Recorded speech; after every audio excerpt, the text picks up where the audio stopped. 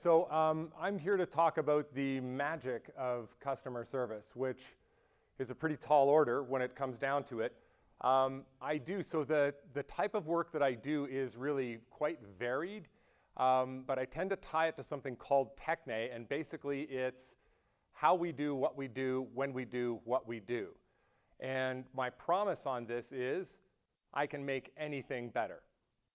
And I mean that quite literally, um, and I'll explain why. It's got nothing to do with me and everything to do with the work, uh, but that's what I want to take you through, okay? Oosh. Um, so I tend to like to start with um, gratitude anytime I get to speak, and I love this city. I love living here.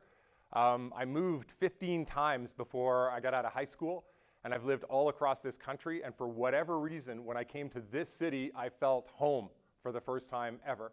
I've tried on a number of different occasions to come up with why it is. I don't know. There's just something that I love about this place, and I love the fact that you're here doing the work that you do, so I get to enjoy this, this magical and beautiful city. Um, I also love Edmonton. I'm thinking about Edmonton today. Um, my friend Owen is here. Owen and I work together, and Owen's an Edmontonian. And so today I'm doing this speech with you, and then we're hopping, it's a perfect day for it, hopping on the highway to go to Edmonton to do a different speech um, for folks up in Edmonton that are trying to work on their city. I love this too because it's, you know, it's that, that kind of rivalry, um, which is, is fun, right? We have a rivalry internally, but we're siblings, so you can't make fun of us from outside of the province. Also, if you're going to make fun of us, I wouldn't be using a sign with a font like that, but anyways. Okay, um, I'm going to give you a warning. I, so this is the first time I've used this warning, actually. I used to give a warning uh, about the phrase avuncular. Uh, and the phrase avuncular, what it means, it comes from the same root as the word uncle. Um, and this is, if you've got anybody in your life that's like this, this is kind of a, an old, you know, an old family member or something that's always giving you advice and it's really condescending. Um, so it's like advice, except it feels terrible. It makes you feel awful. Um, that's what being avuncular is. And so the trick with the way that I do my work is I'm super obsessive about what I do and so I can get sounding really certain about it, and here's what you should do, and all that kind of stuff. Um, and I didn't even come to sort of fix this on my own. It was a friend of mine that was at one of my speeches and said, dude, you should give a warning about being avuncular. Um, I'm not here to say, like, this is how I live my life. My certainty comes from the fact that this is a lifetime's worth of work in this area on how you can make improvements in different areas. So if I start sounding like I know everything about all this, it's from the study piece. Uh, and why I've switched this to this guy, some of you will know who this is. This is a guy named Joe Rogan who has a podcast. Uh, it's one of the most popular podcasts around. Um, it's become of interest to me because he's had a lot of leading academics on there, and he'll have these like three hour conversations on like complex geometry and stuff. It's wild. Anyways, uh, during a couple of these podcasts, he said, uh, I hate these people that come into where you work and tell you about all this stuff you should do with your work because, like, who the heck are they and what have they achieved? Uh, and so I thought, well, maybe I should sort of give you that warning because um, the stuff that I study and the stuff that I bring to you, I guarantee you it will work, and it is based on research. But I absolutely do not execute it as well as I would like in my own life, right? Like I try, I really work hard at it and things like that. But when we're talking about like refinements and how to be more effective at work and all these types of things, these things are hard, right? Uh, so I don't, I, I, started to worry about that because like uh, Rogan was saying, you know, you don't have any credibility unless you're sort of totally perfect in all of those ways. But weirdly, the thing that drives me so much on these things is because I'm so terrible at living life and I would like to get a little bit better. Um, so anyways, there's my warning. Uh, so why in the hell am I here? Because um, I don't really like leaving the, my office or going out into public at all, but I agree to do speeches like this and I've never said no to doing a speech for the city. Um, and I've used this phrase before. I'm correct on it. You're not going to believe me, but you'll be wrong and I'll be right, which is that you're heroes. We need you. We need the work that you're doing. We are in a time of extraordinary transformation. That transformation, I don't mean just our city, of global transformation. The change ushered in by that transformation will speed up. The frantic nature of our world will continue for the rest of our lives and we will only have small pockets of stability to get us through that. And so we really need you. And so I say no to most requests to speeches. I always say yes when it's for folks like you. because we need you doing your job, and I know that your job isn't easy. So I'm going to talk about some things that hopefully will help because I really want to help you, because I'm grateful to you for doing this for our city, and because I really worry about you. Because at times of extraordinary stress, the people that are holding things together are the ones that are carrying all of that weight. Okay, so let's deal with some definitions because I've promised you magic and all of that stuff. So um, when we think of magic, right, we think of this type of stuff. It's like, oh, you're going to do magic in customer service. And that sort of works, right? Because if you think of what magic is, it doesn't really exist, right? It's not real. But what happens is if behind the scenes you work tirelessly forever, then your customer feels like, oh, look, it's magic, right? So it's like, oh, look, it's magic. The roads work and water works, and I get this. And it's like, look at that, the city just works. And really, the only time you ever hear anything is if there's one tiny little mistake, and then you're going to get attacked. So magic is kind of this high level type of craft piece, but that seems pretty bold to promise. Customers, I think we want to think about as global. Whether you're working here or in a global corporation, our customer base is global because we're in global communication and because we, have, we work with people from around the world. So that changes everything. It means that the way that we interact is interacting across different cultural sets, different ways of interacting, different languages. It's much more complicated than it's ever been before. So if you're working with a group that's quite homogenous, right? So say you're on some island somewhere and everyone's from the same background, it is way easier to connect and way easier to have a relationship where you're being understood.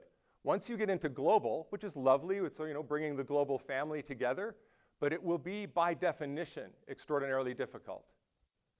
But behind that, there's also the global commentary that we're also all part of. Everyone is now part of a global commentary on how everyone does their work. And if you do some sort of bad thing at work, you could become a global sensation for that, right? It's unlikely that any video will go viral because you've all just done a great smooth job. I'm seeing someone take a picture and I'm noticing that I'm sweating, so I'm going to do this with my head. I'm a bald guy, so if I sweat, I look like a disco ball on a stick. So you can go viral for a mistake. No one's ever going to make you go viral for, hey, great smooth month of work, right? And there's a background tension behind that. Okay, service. Here's why you're heroes. Okay, so because I study Techne, because I study everything, I'm interested in studying everything. The way to do that um, with limited time is to focus on key pieces of information. So I like old stories. I like old knowledge that tracks down through the ages. The beginnings of the conversation about how civilization should work, how we should build society, how we should do politics, how we should develop health, how we should do government, and how we should deal with education came out of a conversation around two things, gnothi seauton and Neoti Eotu. So the self-knowledge is the first part. You should learn, right? Read books, uh, listen to people talk, have experiences. The second part is what's seen as the most important part it's care of the self.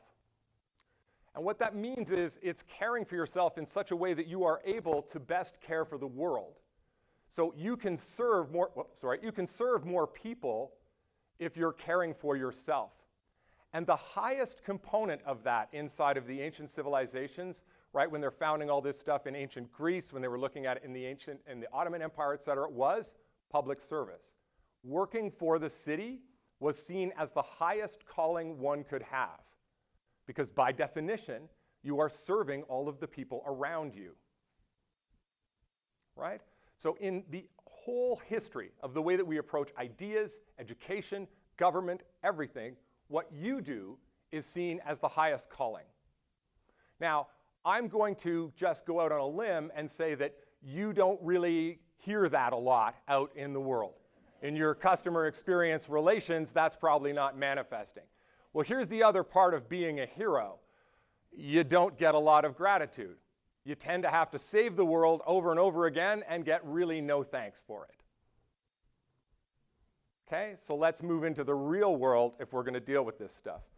So, one of the things that has freaked me out about the world, and many, many things freak me out about the world, are the emergence of these signs over the last kind of five to 10 years. This one's from the BC uh, Public Service. Um, but like the, a sign in a place that says, don't abuse us.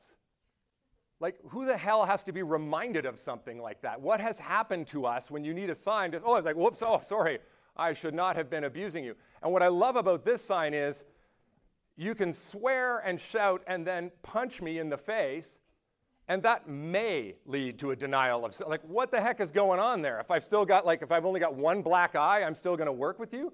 It's like, so this gives us an indication of what's going on in personal relations, right? The fact that we have to post a sign to say, don't abuse us, like that's a basic, that should be easier than reminding someone to breathe air as far as I'm concerned. But it gives us an indication of some of the challenges we're experiencing. Okay, here's why. It's because maybe customers aren't all that terrific. Maybe we get customers that can be a bit of a challenge, right? You don't, if you got to serve everybody, you're maybe not going to get everybody on their best day. Maybe your customers are your internal people, and you're working with people who, and I'm sure none of them work with you, but I work with people who seem to specialize in talking all the time about how hard they work and how hard done by they are, yet never seem to do any actual work. then you get the, oh, those abuse people right? People that seem to be so worked up and out of their heads that they're getting like threatening in a work environment, right? You're clearly way too ramped up when you're into that place. Now, look, we know that there's much more of this kind of emotional behavior in the world, and there are direct reasons for it. So I want to try and address that so you can use some techniques to help make it work for your world. So if you think of like what kind of magic do you need for customer service, like I know I'm supposed to come in here and say like customer service is great and we're doing wonderful things. No, it's not. Customer service sucks.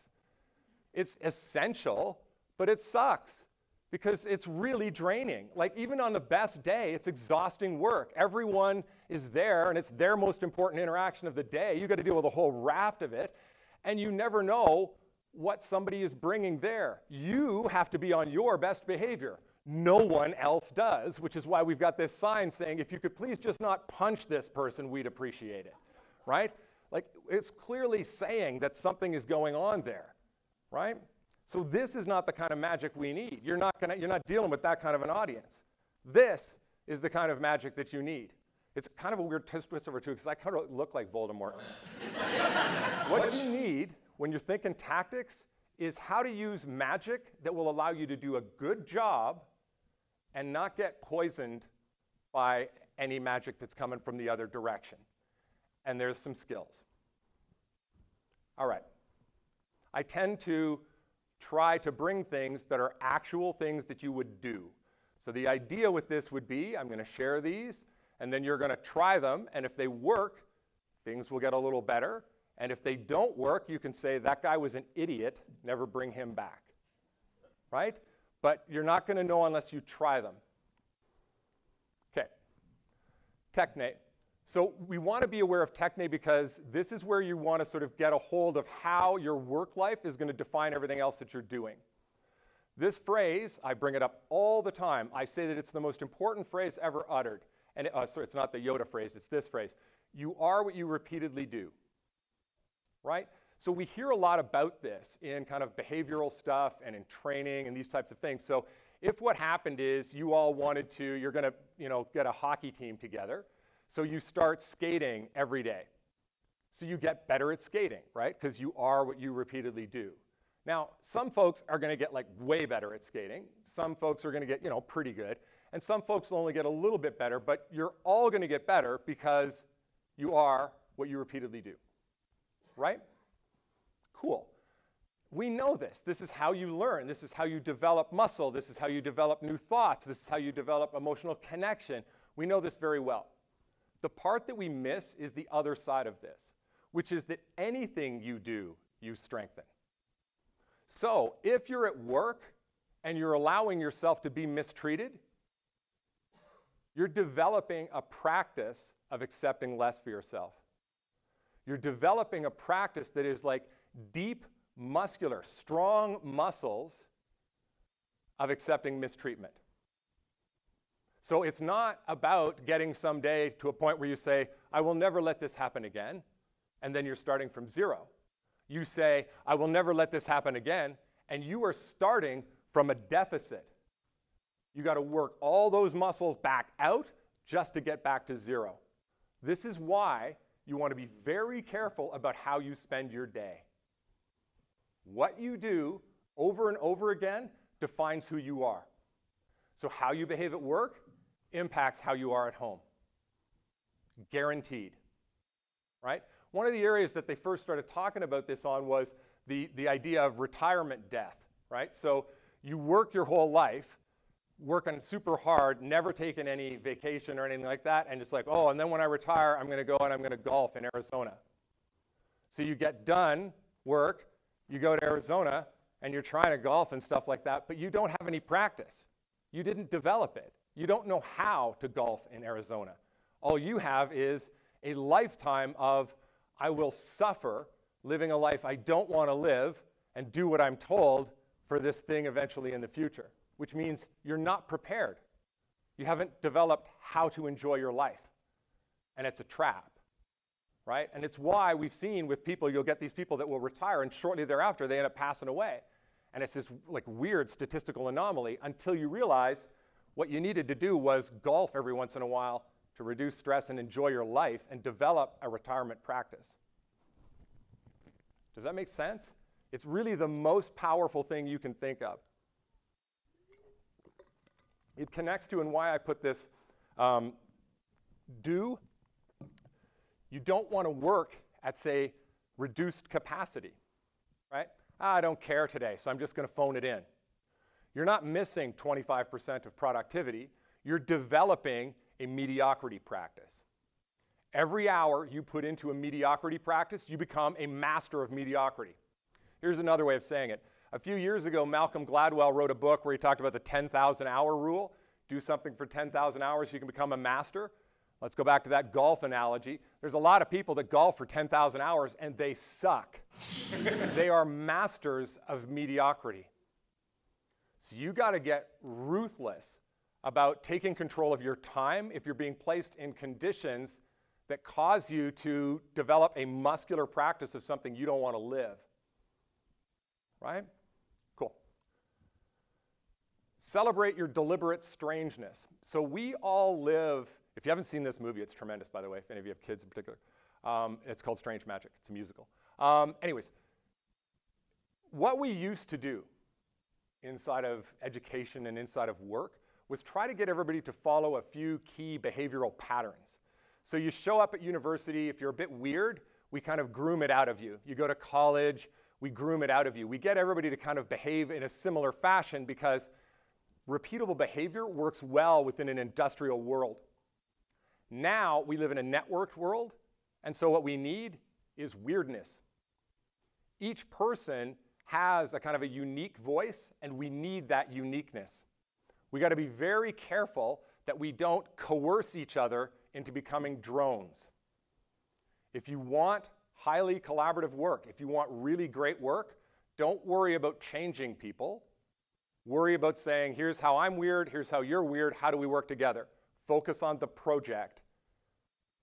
Because otherwise, if you just keep go, going into the sort of programmatic stuff of everybody's got to think the same way, work the same way, et cetera, all you will guarantee is that you will have work, like workload reduction, productivity reduction, creativity reduction, and happiness reduction.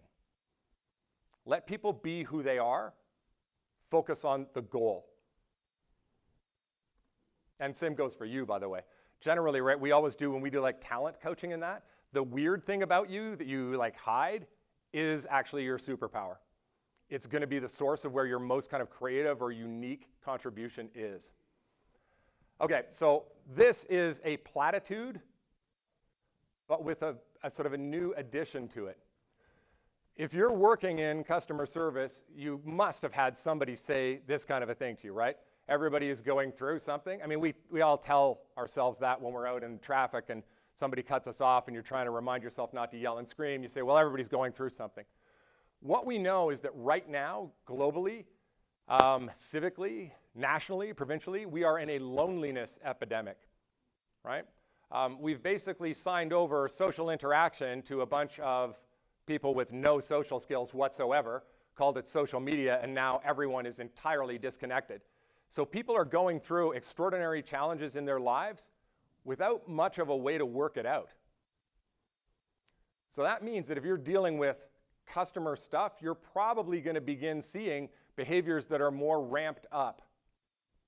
So now you're thinking like, oh, I've got to get them these permits, or I've got to work on this project, or I've got to deal with this complaint. Yes, that's about 50% of it. The other 50% is you are now their priest or psychiatrist or whatever because they're going to unload on you because no one else will listen to them. Everybody's going through something and people are completely isolated now. So we're seeing people blow up in public a lot because it's got to come out somewhere. And unfortunately, folks that are in sort of stability work, so the city, right? They're going to blame you. They're going to blame people who can't hit back. It's always been the way, really. The caretakers, the heroes, the people doing things, are the ones that take all of the heat. Under all of that, by the way, we do, we attack the ones we love. We're tough on the ones we love. But when you're dealing with people in today's environment, you're going to be dealing with increased emotional engagement for some very specific reasons. Okay, here's one quick way. So you're in a, an interaction, whether it's a one-off or a long term, and it makes no sense, right? Because it's easy for us to talk about like, oh, the person was angry or the thing was late. But I'm guessing all of you have had many, many, many occasions when you're dealing with someone and it's like, this doesn't even make sense. Like, this is completely irrational. This person is totally worked up and not making any sense at all. That's when you're in emotion land, right? You've no longer got the executive function of the brain on. This person is working from emotion. All of us can get there, right? Again, you get cut off in traffic, fight or flight kicks in, you are not thinking anymore, you're reacting. So if a person's in that place, they're not going to make sense. So, how do you deal with that when you're face to face with someone who is basically a wild animal, right? Whether they're attacking you or not, they are not predictable, they are not coherent. You're going to be like, but that doesn't make sense, or but you just have to fill out the form, but you didn't go to the back of the line. You're trying to use logic on someone who doesn't have that part of their brain on.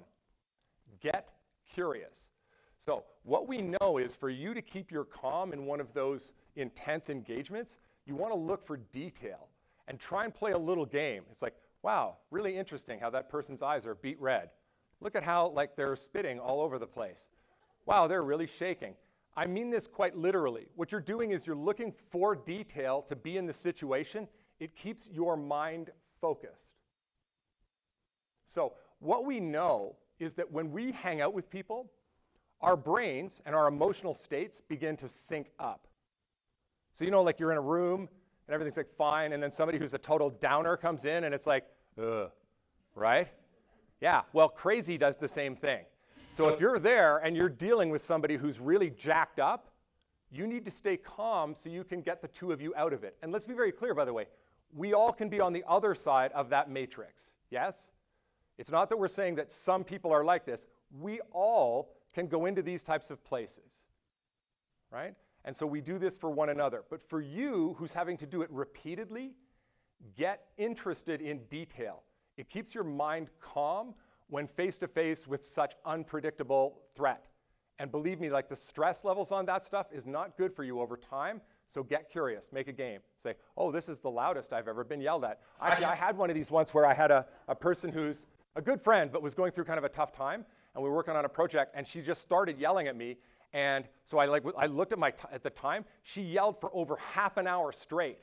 And so, like, at first it was kind of scary, but like past five minutes, I'm going like, this is extraordinary. And like then I'm kind of like rooting for like, how long can this go, right? And you're like 10, 15, 20 minutes. It's like, when is she gonna run out of air? It was amazing, right? But what I'm doing is I have to be in this situation. It was a serious situation. The person is a friend, but they were in a certain type of a place. You just got to ride it out, right? And things got better afterwards, but just be aware we can be caught inside of these things and instead of having to like abandon it. Just look for detail. It's what keeps your mind focused.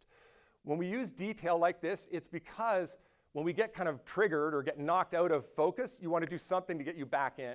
Same thing can happen, like, so if somebody uh, is like threatening you or upsetting you or insulting you, do a math problem because it gets the front end of your mind going again. Because if what I do is I bully you or whatever, your executive function goes off.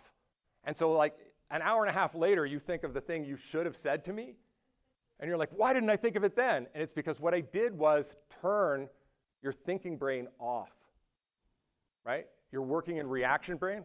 That's the second time I've done that. Good heavens. You're working in reaction brain. Look for detail.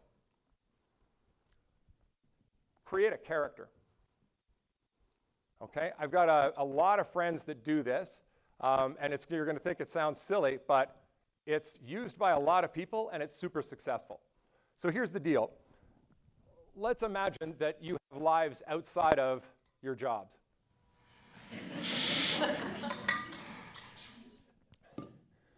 How often are the people in those lives, and let's assume that there are people in those lives. How often are the people in those lives saying, hey, I wish you could bring a lot more of the negative stuff from work home with you? this is why I say this notion of being kind of poisoned by that kind of stuff at work right? You want to find ways to have work be work and then walk away. So, what we know is that people that are in high stress jobs, public engagement jobs, very often create a character. Now, I've given you some celebrity examples of people who created a character and by being in that character could live one way and then stop and go home. But I know all kinds of people that do this in terms of work. And so I've got a good friend, she has this thing that she calls Alpha, I shouldn't give her name, so I'll use a different name, uh, Alpha Lucy. And the deal is she's quite a quiet, calm, uh, contemplative type of a person, but she works in a high pressure environment, so she switches into a character for that job.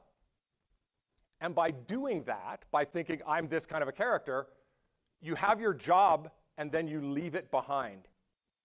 Right? So if you need to be an alpha in an environment, you're playing a kind of a superhero role, less stuff gets into your heart to cause you suffering. Now, if you're a bit aggressive, you might want to come up with a bit of a kind of a, a downgrade of that energy, but you can come up with a persona that is your work persona. This may sound sort of somewhat strange, but a lot of people, they kind of bring their whole heart to work wide open.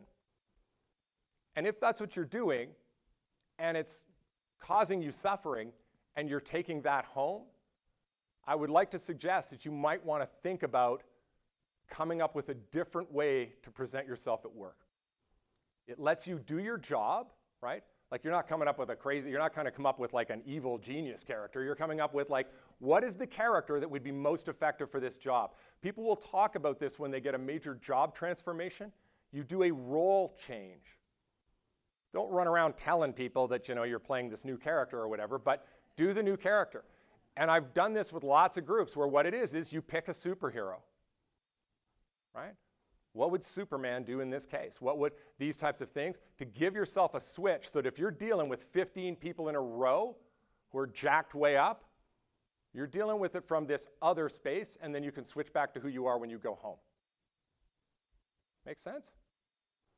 Okay. Creative process. I don't know if you've seen this. This is a live performance of a song that was done. It was a number one hit song. It was from the movies uh, Fast and the Furious. So the one of the guys that was in that, it's a franchise that's been around for a long time. One of the guys that was in that and helped build it uh, ended up passing away during the filming of one of the uh, one of the films. And so they wanted to say goodbye. They didn't know how to do it. They was, they were heartbroken, et cetera. So they wrote this song to basically say goodbye. Um, and it was these two, two guys that did the song and then they performed it live, and it's just beautiful. They did it at the, it was at the American Music Awards or maybe Billboard Music Awards, I forget which. You can see all the musicians, they're all crying. Um, and these two just did this great job of expressing the pain. So here's this other piece. We hear a lot about creativity and how it's a good thing. Sort of. I mean, it is if it doesn't suck, right? I like to go back to that same 10,000 hour rule. If you're going to do creativity but you suck at it, don't. Stop but The superpower that artists have is that they take in pain and release beauty. So if you decide that that's the way you're going to approach this stuff, when you've got people coming to the desk, when you've got people at work, and they're coming at you with nothing but pain, are you the type of person that can breathe that in and breathe out beauty? Artists can do that. Uh, people that talked about the, the bodhisattvas, there's a, these sort of compassion meditation types of folks that do this. I wouldn't recommend it if you haven't got a practice on this. Breathing in poison to attempt to convert it to beauty might actually just cause you to drop dead on the spot. Um, and that would look bad on me after giving you this advice. But seriously, when we think about what we do when we encounter true pain in the world, we tend to have practices that involve maybe music or poetry or prayer or ritual. Consider if what you are doing is working with people that are experiencing a great deal of suffering, that you might want to give some thought to how you can process that pain and turn it into beauty. Instead of pretending that everything is fine, instead of pretending that everything is positive, instead of putting on a fake happy face, because the song these folks wrote is, was the number one song of the year. It was beautiful. Develop a practice of learning how to use pain to fuel good as opposed to leaving it locked inside of you until you can get it home to your family. Yes? Mirroring. So this is the number one, right? You've probably heard about this. Even when you know it, if someone does it to you, it will work. Mirroring. What you're going to do is, so I come in and I'm like, ah, yell, yell, yell, everything's terrible. I can't believe it snowed. Why aren't the roads clearer than this? I'm, I was late. It's my fault, but I'm mad at you. you hear what I say, then capture some of the words in what I said and repeat them back to me. Okay? Now, if I say curse words or things like that, you're not going to repeat those parts. But if you repeat back to me, so it's like, so let me get this straight. I just want to make sure I've heard you. Um, you're angry that the snow has fallen um, and that you were late for being here at this event uh, and you uh, want an apology. And then I will say yes. Okay? Here's what's going on. I, I've got to imagine that there's not a person in this room that hasn't noticed that our world is a lot more ramped up these days. And that a lot of us, if not all of us, seem to be having moments where we're kind of going off. Like people are having intense conversations that seem not to be based in a lot of thinking or heartful feeling, right? We're all worked up. Mirroring drops physical stress by almost 50%. So if I'm freaking out and you mirror me, my physical, like my heart rate and blood pressure will drop. So what's happening with mirroring is we are communicative beings. We learn through mimesis, right? This is why they say, like, you know, if you have a kid and you're raising the kid, it's like, don't be, you know, smoking and shooting meth in front of the kid because then the kid will learn how to smoke and shoot meth. I don't think you shoot meth. My dad never taught me that. Because we learn by seeing. We, our whole body picks up the information. We are currently in a time period in which very few of us do much face to face work. We get jacked up with information without connection.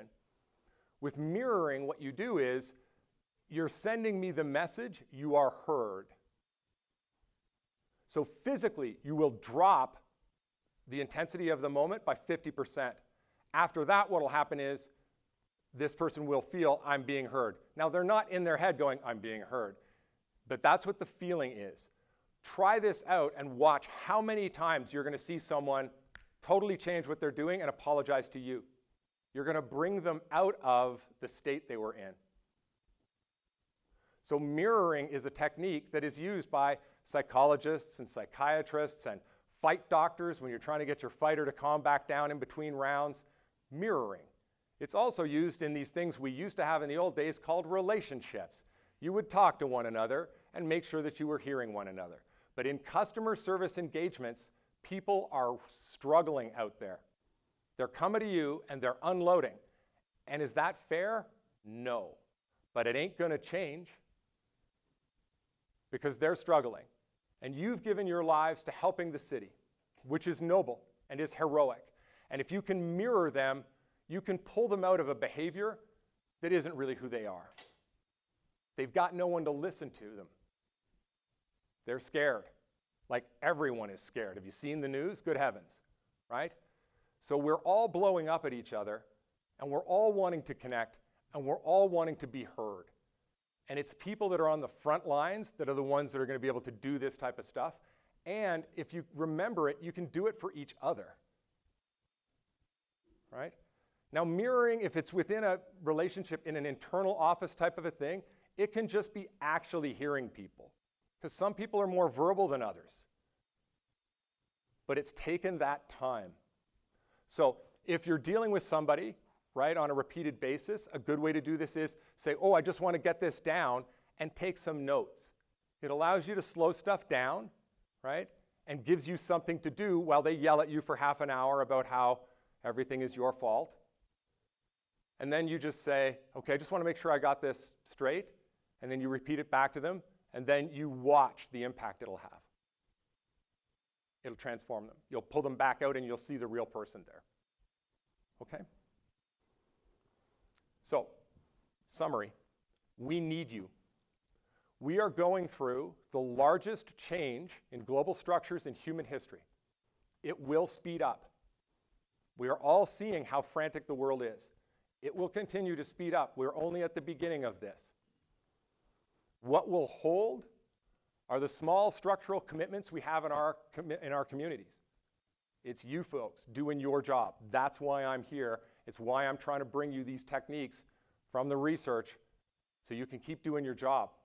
Because the last thing we want is for you to have to quit, right? Somebody that's just running an investment segment of something or building some widget, they take the day off, we're good. You folks don't work, the city shuts down. So you need to work on taking care of yourself when you know that the tension is rising everywhere. We used to be able to get through on, I'm just going to tough it through. That is not tough anymore. That was the old world. Tough now is getting right into the arena with these people using some techniques to make sure that you can bring them out of the place that they're in, the frantic spot that they're in, but also making sure that you take care of yourself so that that crap is not going home to you and your family. Because the abuse part, the person may be good, the abuse part is fundamentally unacceptable, and it sure as heck shouldn't be going home to your house. Yeah? So your job is hard. It's going to get harder, but that's rewarding particularly if it works. So I brought you seven things. Remember that you are what you do. So try some of these things. Try developing a new piece. Try a thing. Don't do sitting here listening to the bald man who sweats a lot and then don't do anything about it. Like the only bigger addiction we have than to sort of pain medications is listening to people tell us how to do things and then not acting on it at all right? Oh, yeah, I listened to a thing. I read a meme on Instagram. I'm good to go. Do a thing. Remember that whatever you do, when we are in this time of great change, you're going to have nonstop jerks like me coming in to tell you what to do and how to live your life. You're going to have new programs with new terms and new data and new post it notes on the wall. Synergy. it's people trying to make sense of the world. Change will be constant.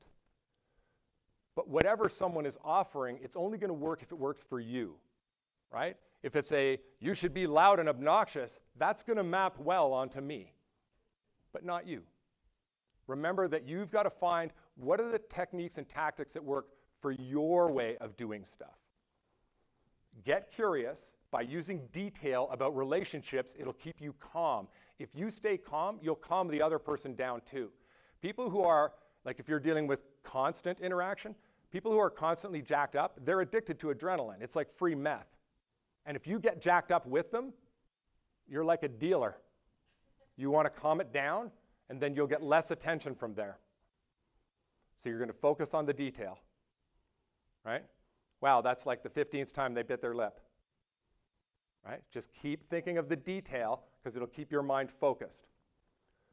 Develop a work character, right? Who am I when I go to work? And who am I when I get home? Try the experiment. It's cool to joke around with your friends at the office. You can tell each other who your superhero characters are and try them on for a week. It'll be hilarious. It's like, wow, I totally saw you were doing like you were Wonder Woman there. Like that's like that's awesome, right? You shouldn't have lassoed that, that customer, but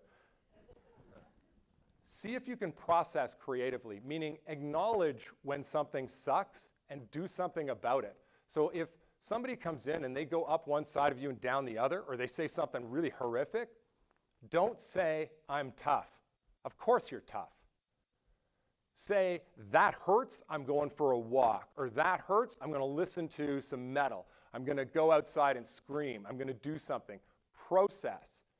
They just poisoned you. Make a decision to take that poison and convert it to beauty. Yeah? The artistic way, which means, by the way, not crappy art. I don't like all this stuff where they just say, oh, look, let's all just do finger painting. That's not going to do it. It needs to be something good. Okay? Mirror people. Mirror, if you get mirror, the whole thing, everything is taken care of. Learn how to mirror.